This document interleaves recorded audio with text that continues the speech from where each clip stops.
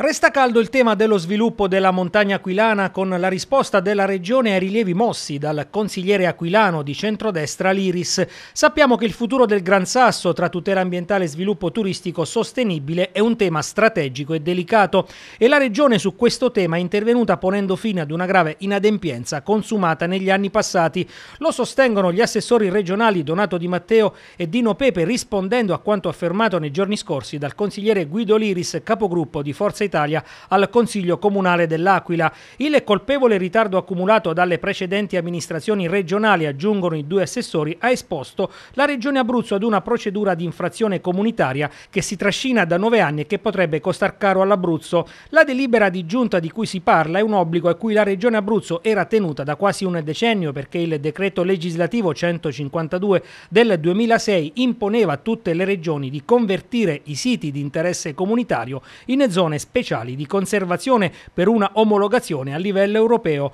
Proprio questo dato testimonia che di fatto SIC e zone speciali di conservazione sono in pratica la stessa cosa, sono aree con l'identica perimetrazione e sottoposte alle stesse norme. Nulla cambia nella sostanza e non c'è dunque alcuna catastrofe che incombe. Al contrario, hanno spiegato i due assessori regionali Pepe e Di Matteo, l'unico modo per porre fine alle norme di salvaguardia finora vigenti che in maniera indiscriminata hanno applicato ovunque nel parco i vincoli vincoli più estremi è quello che la Regione ha finalmente avviato, approvare il piano del parco che riconosce i progetti speciali territoriali e consentire così di diversificare i vincoli promuovendo uno sviluppo sostenibile. In questo senso, concludono Di Matteo e Pepe, la Regione a seguito della delibera 877 attiverà tavoli concertativi con le forze rappresentative dei territori interessati per condividere un percorso comune che porti ad una legge regionale che preveda modifiche nel nell'ambito dei vincoli europei. Infine la Regione affiderà al Parco, che ha già attivato una collaborazione con l'Università dell'Aquila,